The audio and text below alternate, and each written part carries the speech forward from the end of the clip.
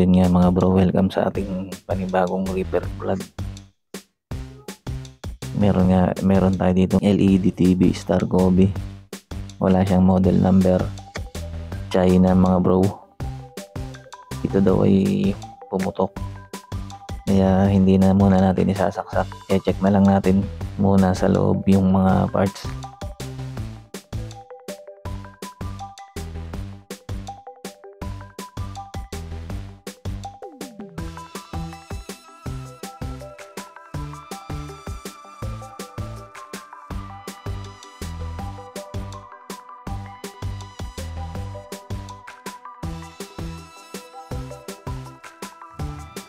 Na natin yung mga screws niya.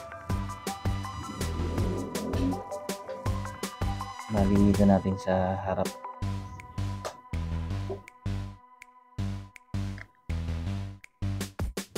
Star Gobi.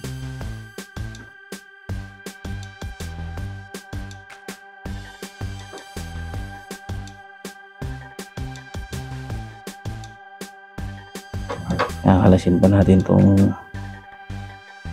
kanyang LED.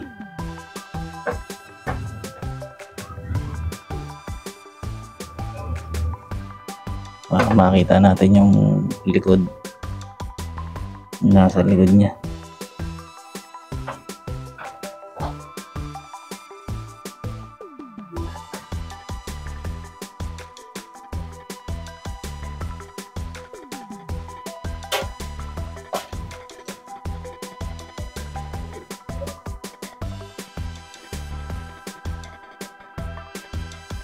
Mga bro.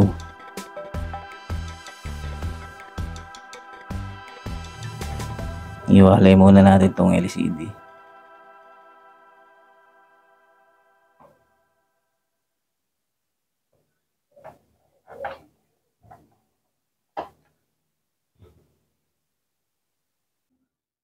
Guys, bali ito yung kanyang backlight driver. Ito yung kanyang power supply. Kasi ito yung kanyang mainboard. Bali, magpo-focus tayo dito sa power supply kasi pumutok daw eh. Kaya check muna natin to.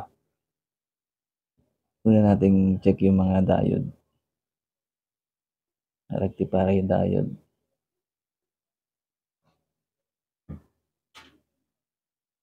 Yun nga guys, bali dito tayo sa diode check.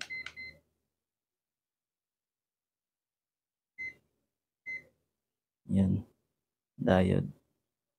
Diode check. Unahin natin tong rectifier, tong apat.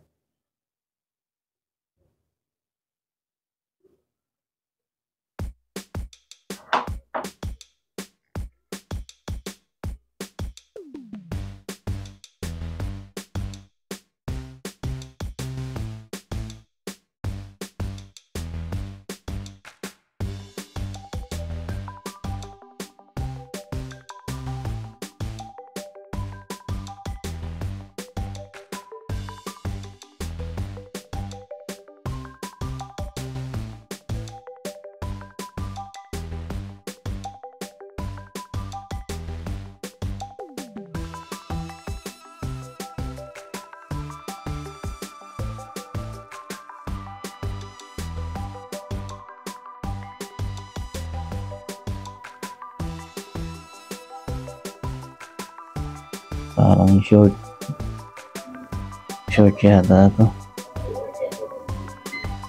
Basag natin. Yun nga mga bro. Shorted yung shorted yung mga pin.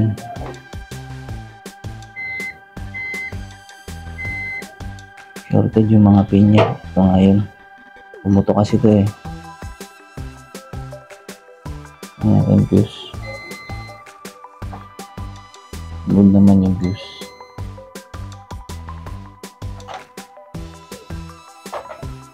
Bali mga bro, try na lang nating i-4 wires kasi yun lang yung available natin dito. Na pamalit. Wala kasi tayong MOSFET dito eh. Ito na lang. Four wires.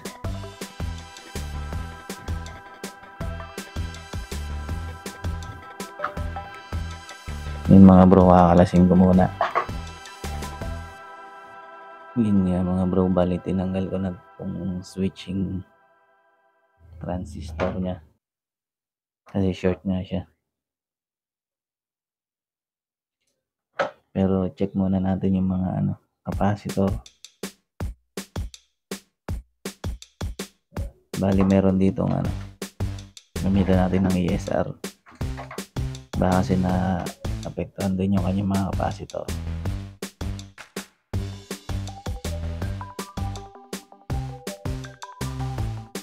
Check natin yung kanyang mga capacitor. 470 microfarad.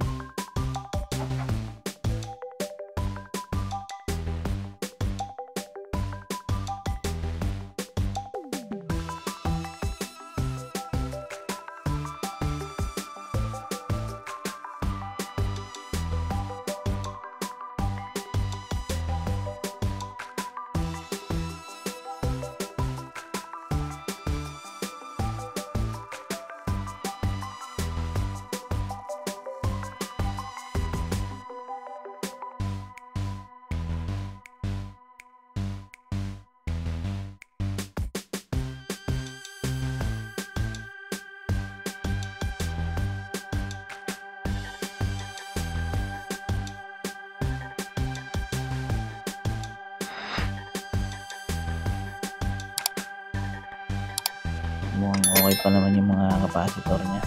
Bali mga bro sa pagkabit natin ng 4 wires.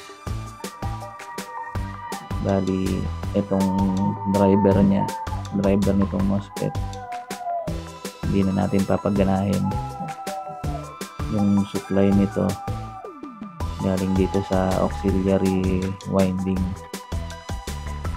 I-ano natin i-disconnect natin para hindi na siya gumana bali ito siya yung itong resistor na to. Papunta yan dito sa diode. Eh dito pababa tama ba? Oo nga. Ito siya eh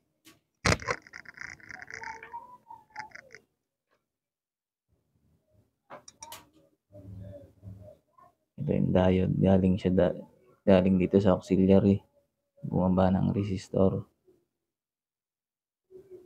Tapos ito diode bumunta dito sa pin number 2 siguro ito ng ano. Supply yata nito pin number 2 eh.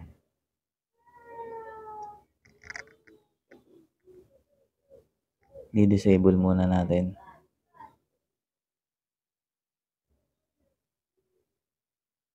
Tapos yung kanyang startup nga eh. Dito rin sa pinto nakakabit.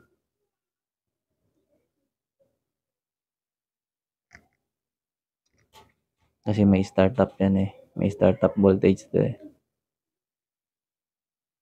Parang isya muna yung pau pauna. Tapos pag nag-oscillate na yung eto. Bali, ito na yung pinaka magiging ano niya, supply. Ito yung startup niya eh, galing dito eh. Galing sa main filter.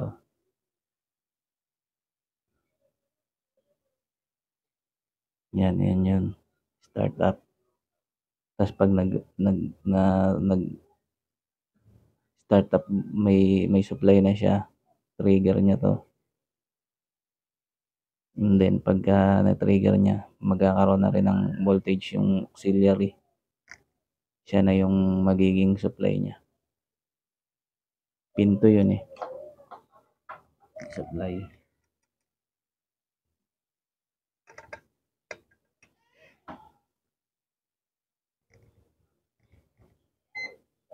Nandito tayo sa continuity. Ito yan eh, pinto. Ito yung diode. Galing auxiliary resistor diode. Tapos pumasok ng pinto. Tapos ito yung sa startup. Pinto rin yan.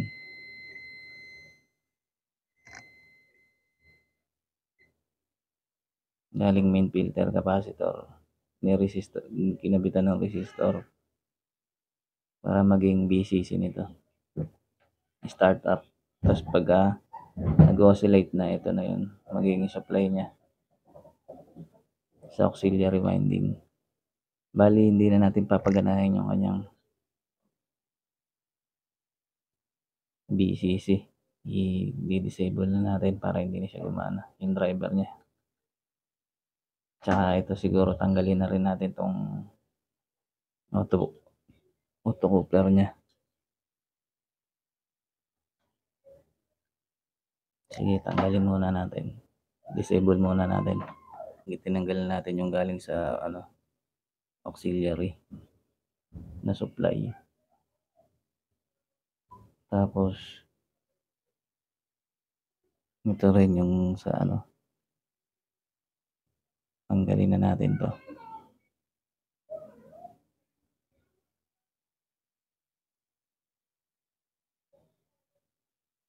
Para hindi na siya gumana. Supply yan, startup.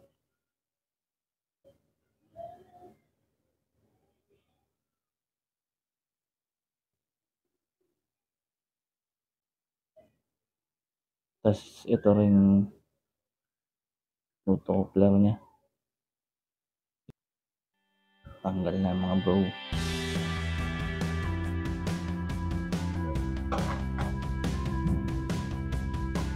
Bali ito, simple lang naman magkabit nito.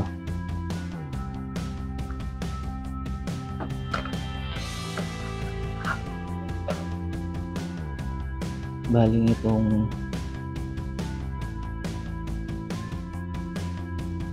itim ay ano hot ground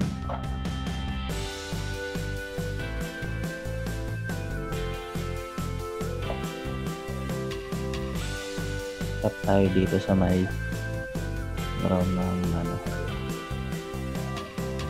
main filter. Ito ground siya.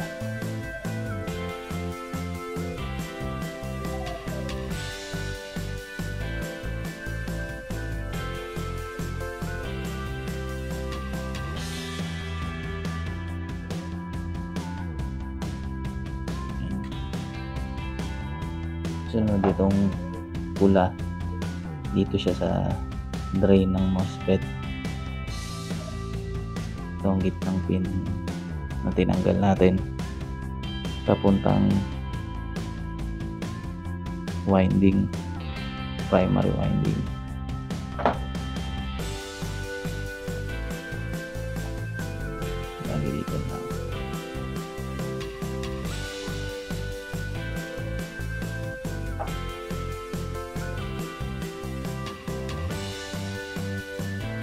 kasi itong blue dito sa cold ground na dito sa may secondary ito siya ground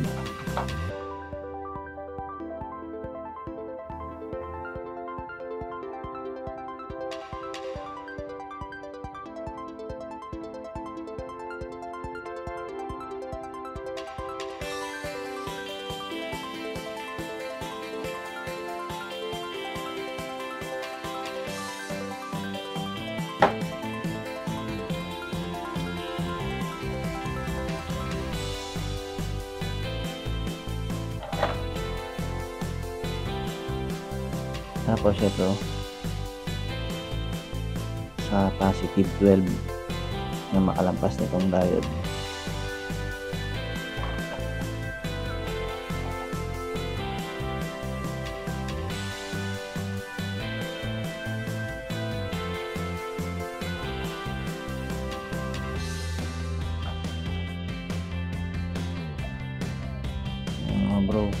na natin bali siya na yung mag-oscillate nitong transformer natin para mag-produce ng 12 12 volts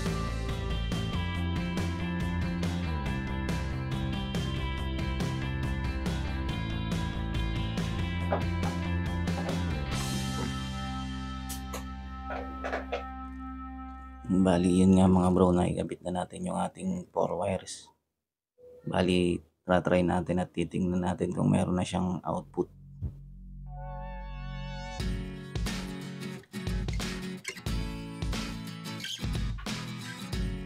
Bali, nasa DC volts tayo.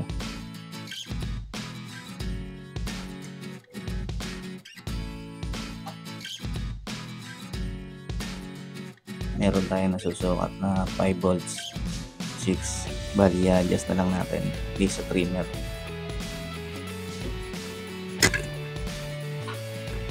gagawin natin 12 bali hinugot ko muna saksakan bago adjust pakunti-kunti lang. Kasi pagka sumobra maaring pumutok yung ating mga capacitor pagka lumampas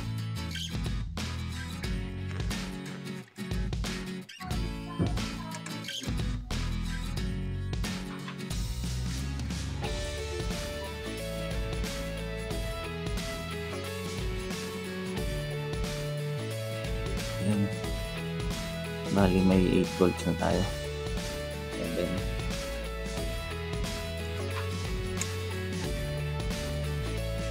Andos pa ng konti.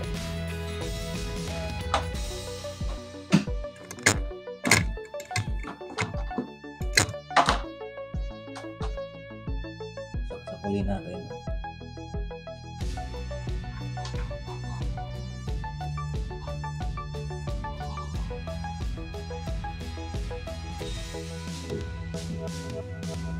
Bali 8 pa rin.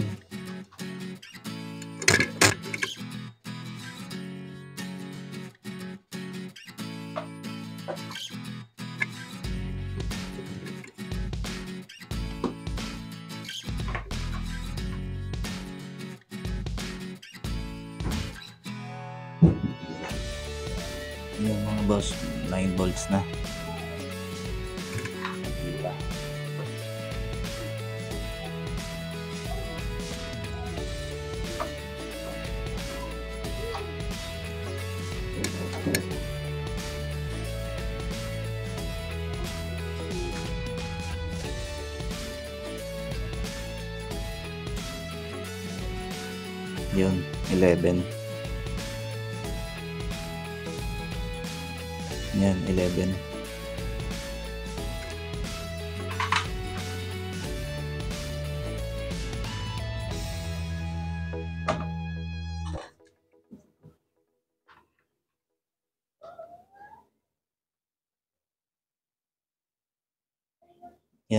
mga boss, bali meron na tayong 12 volts.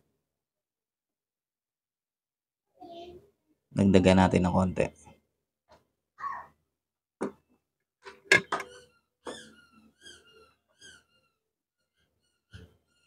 Gawin nating 13.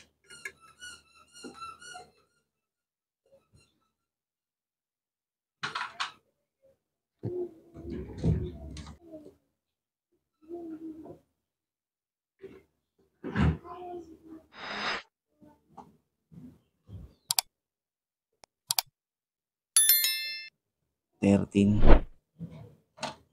Yan nga mga bro, balik tayo. Bali, testing na natin. Sasaksak ko na. Yan, bali bro, sinaksak na natin. Pero hindi pa rin siya nailaw.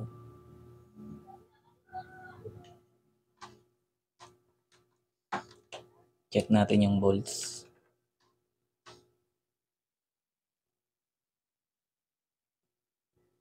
Yung bali meron na tayong 13.5 volts na ano nakuku na pumapasok sa mainboard kaso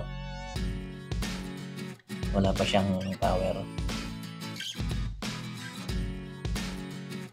Bali guys, may napansin lang ako dito.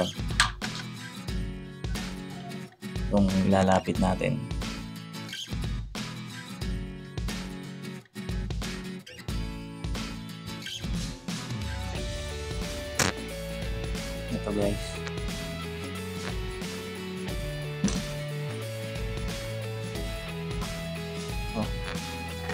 medyo parang pumutok siya.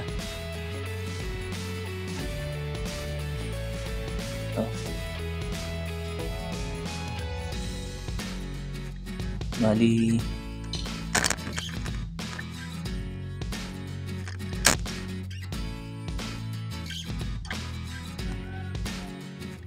Bali 5 volts yung nalabas doon eh.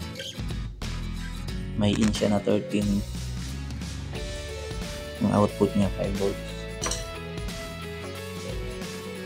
Punta dito.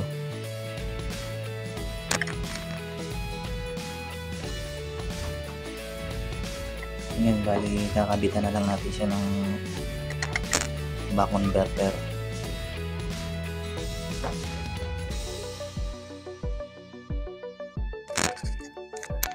Bali, tatanggalin natin yun. Papalitan natin ng back converter.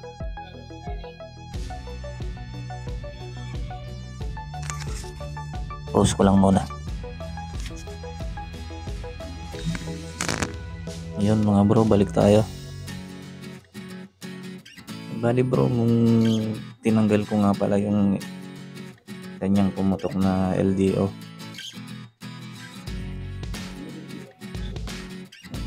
Ito mga bro, 5 volts output, bali 6 pins. Nakakabit siya dito.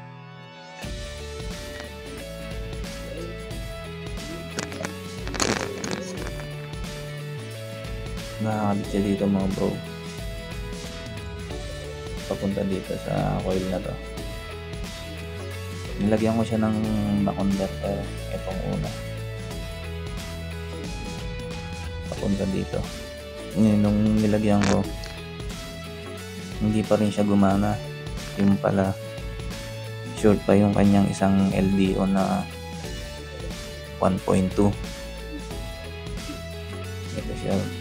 mga bro. 5 pins, 1.2 volt yung kanyang output. Bali, dito siya nakalagay.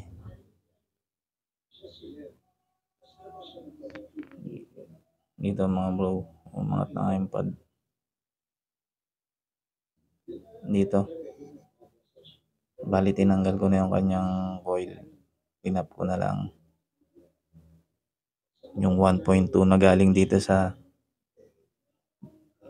back converter na isa. Bali yung pagkakabit nga pala itong back converter, meron siyang input dito. Input siya. Meron siyang output. Bali bago nyo ihinang dito, iset nyo muna yung volt na pipihit siya dito.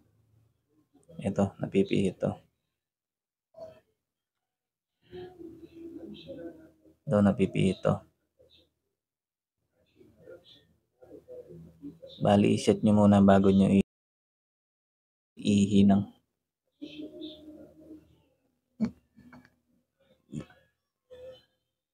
Yun nga mga bro, sira yung kanyang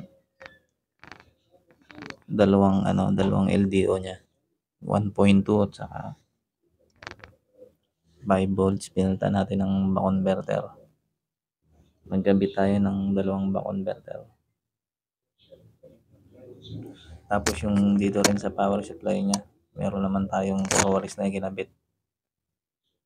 So, kasi sira na nga yung kanyang switching uh, MOSFET. Short na to mga boss. Dali yan mga bro, tetest natin. Taktak natin.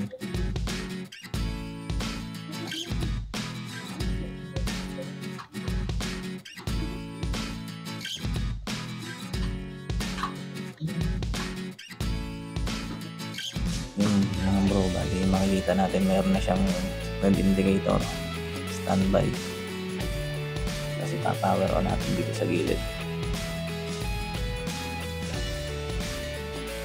Yun. Nag-blue na siya. Ibig sabihin mukhang good na. Ang gagawin natin ay ilalagay na lang natin yung panel niya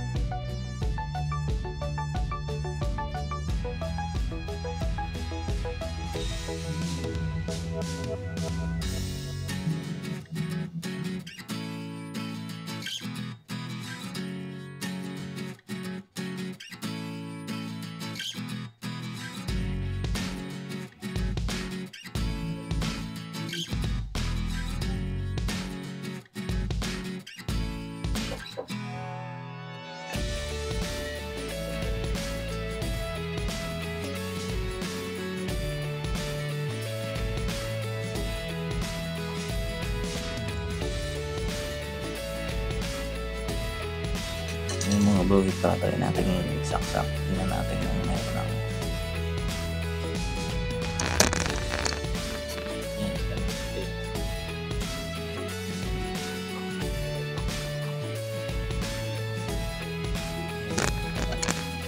ng red light na siya tapos mga bro. Power ko natin. Yes,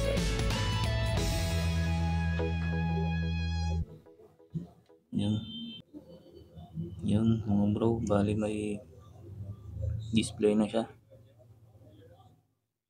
Pwede na siguro to.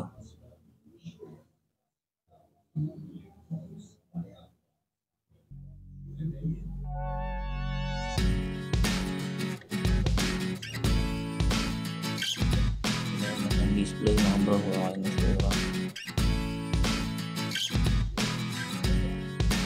Yung mga bro hanggang dito na lang thank you. Dito na lang muna